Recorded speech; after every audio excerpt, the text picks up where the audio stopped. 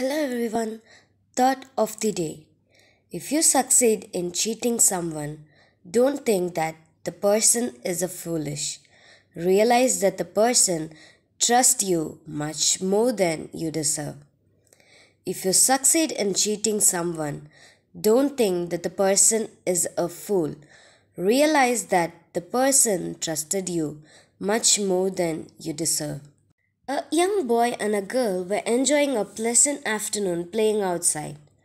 The boy showed the girl his collection of beautiful, unique marble. In turn, the girl showed the boy the handful of candy that she had just gotten for her birthday.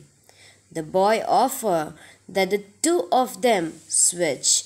He would give her all his marble if she handed over all her candy. The girl agreed, as she found the marble to be beautiful as well.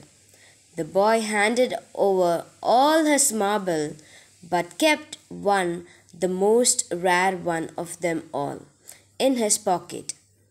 The girl kept her promise and gave the boy all the candy.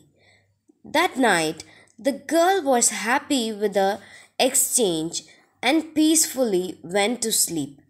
The boy, however, couldn't sleep as he was up wondering if the girl had secretly kept some of her candy just like he did with the marbles. So, if you succeed in cheating someone, don't think that the person is a fool. Realize that the person trusts you much more than you deserve. Thank you. Have a great day.